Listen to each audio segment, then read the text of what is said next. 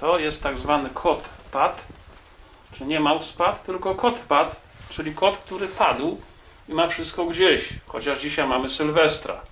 no tak na zakończenie.